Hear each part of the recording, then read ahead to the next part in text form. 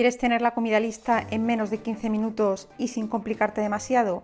Pues te invito a que me acompañes en esta serie de vídeos donde te enseñaré un montón de recetas fáciles, rápidas y deliciosas.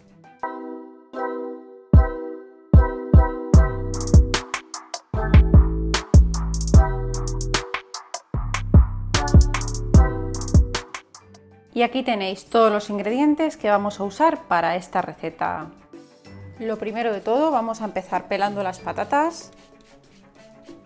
Y yo he calculado una patata por persona, pero si queréis podéis poner más. Y una vez peladas las vamos a partir en rodajas como de medio centímetro aproximadamente de grosor.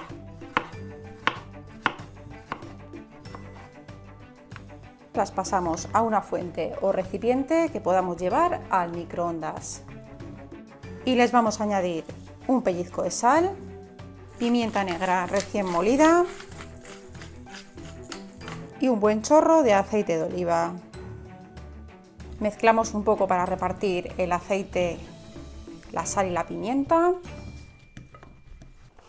Tapamos con film transparente y con un cuchillo hacemos unos agujeritos en el plástico para que salga el vapor y las vamos a llevar al microondas entre 5 y 10 minutos o hasta que veamos que al pincharlas con un cuchillo están tiernas. Y mientras que se nos hacen las patatas ponemos una sartén al fuego y añadimos un chorrito de aceite de oliva.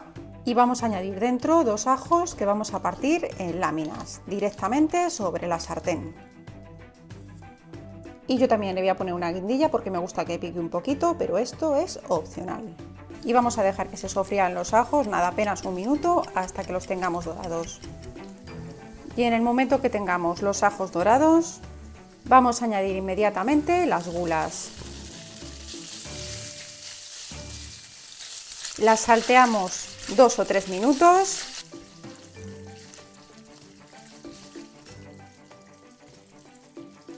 y las espolvoreamos con un poquito de perejil fresco por encima.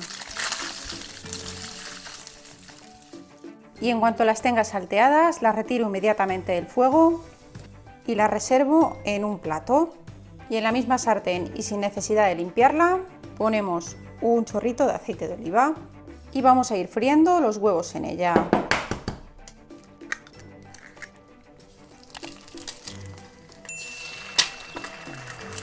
Ponemos una pizquita de sal a cada huevo, tapamos y dejamos que se nos hagan unos dos minutos.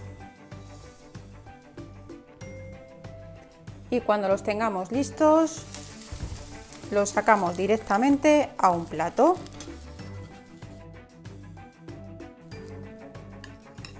Y hago los otros dos huevos de la misma forma.